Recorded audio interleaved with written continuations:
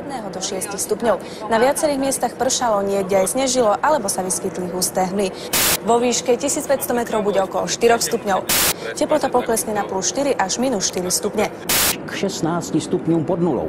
Počítajte aj so slabými rannými mrazmi. Na horách bude prevažne polooblačno. Vo výške 1500 metrov bude okolo plus 3 stupňov. Po vyšších polohách sneženie. Pozor na zníženú viditeľnosť a na šmykľavé cesty.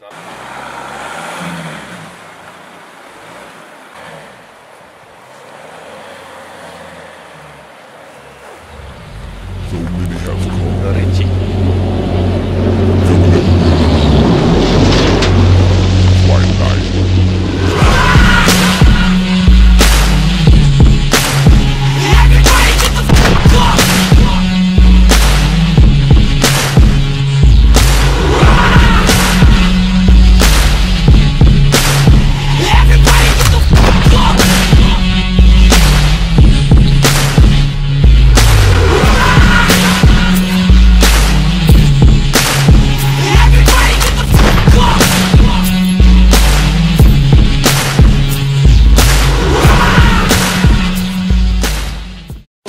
you